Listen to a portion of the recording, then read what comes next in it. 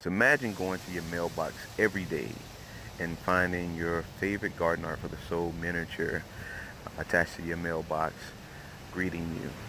The work is so light, extremely durable. You can screw it in or I have this one attached with two strong pieces of Velcro. Visit gardenartforthesoul.com to see the new arrivals and to select your favorite garden art for the soul piece is very durable, extremely interchangeable, indoor, outdoor application. Your garden, your yard, your potted plants. Take advantage of these beautiful decor editions of works available through gardenartforthesoul.com and Black Art in America. Enjoy.